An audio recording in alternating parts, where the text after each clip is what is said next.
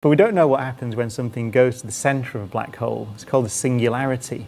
And the reason we don't know is because our current laws of physics break down in those very extreme conditions, and we need a new theory. Like, how many billion Earth like planets did you say exist just in our solar system alone? In, in the galaxy, 20 billion, something like that. It's one in 10 stars. So, the odds of complex life out of our incredibly fortunate situation, but the odds of that occurring on any of these billions of other planets that Well, exist. We don't know, but let, let's say the Earth is, let's say it was on the fortunate side.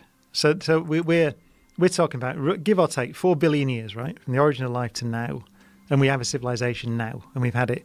Our species has been around what a quarter of a million years or something, so it's just now basically. So let's say four billion is on the fortunate side.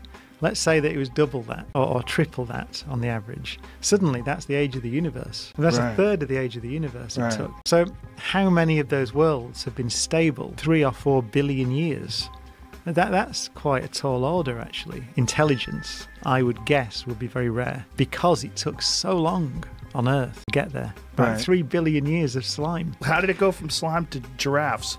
It's uh, it- and it did it very quickly once it once it got going. Yeah. And it's one of the great unsolved uh, mysteries in biology. We're, we're called eukaryotes, right? Which is cells with a cell nucleus and all that kind of stuff. And they look like they're the merger between two simpler life forms, a bacteria and a thing called an archaea.